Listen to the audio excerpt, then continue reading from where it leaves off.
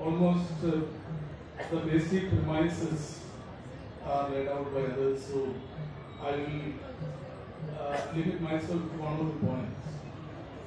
In a country where a democratic government is being elected, is funded by electoral bonds, which are very secretive, confidential. In a country where everything is transpired in a sealed cover culture, I am afraid cinema too is moving towards that sealed cover zone. That is why they want to control everything from one remote control center. It's simple for me.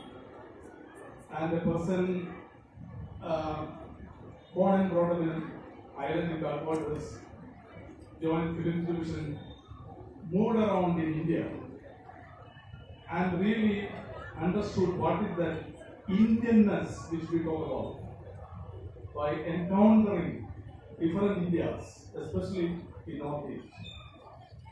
I really feel very sad.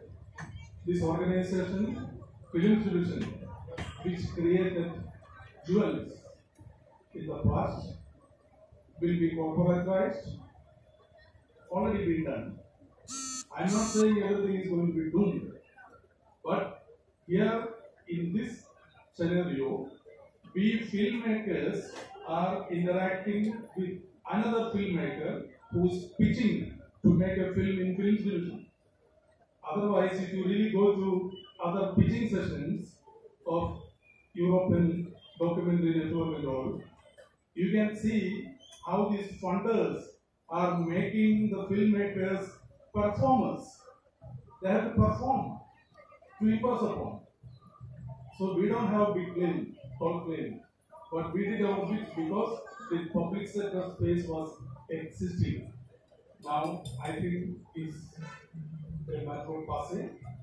Uh, but in this whole policy of merging everything into a corporation, there is a clear-cut case for a public interest litigation in the case of National Film Archives.